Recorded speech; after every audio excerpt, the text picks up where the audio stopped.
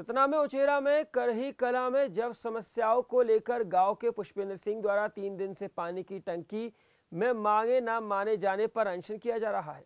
इसके पहले हनुमान चौक में एक दिसंबर से अमरण अनशन की शुरुआत फिर से की गई। इसके पीछे की वजह पूर्व में 2 अक्टूबर से 16 दिन तक आमरण अनशन किया, जिसकी मांगे अभी तक मानी नहीं गई।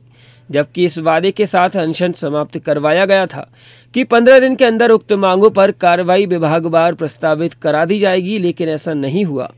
यही वजह है कि अनशन किया जाना बताया जा रहा है। इसके पीछे अनशनकारी और प्रशासन के अपने अपने तर्क हैं। प्रशासन के आला अधिकारियों का साफ़ कहना है कि जो भी मांगे जनहित में हैं, उन पर कार्रवाई प्रस्तावित है। एक दिसंबर एक अभी इस माह से दिसंबर से अमानसन में बैठा हूँ हूँ। आज दस दिन से ऊपर हो रहे हैं, कोई भी प्रशासनिक अमला नहीं आया है। सिर्फ़ डॉक्टर महोदय जी आ रहे हैं और पुलिस का विभाग का।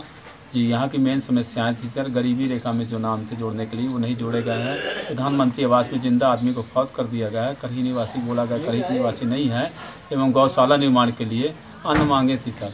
पूर्व में भी तहसीलदार द्वारा लिखित आश्वासन दिया गया था। सोलह दिन अमानस में बैठा था गांधी जयंती से।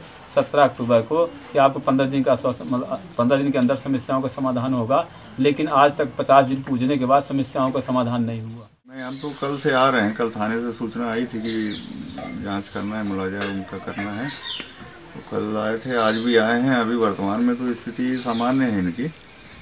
बाकी दूसरी जाँचें कर ली हैं, लैब की जाँच अभी यूरिन कलेक्ट करके ले जा रहे हैं, वहाँ अस्पताल में करा के देख लेंगे। फिजिकली अभी ठीक हैं स्थिति सामान्य है अभी।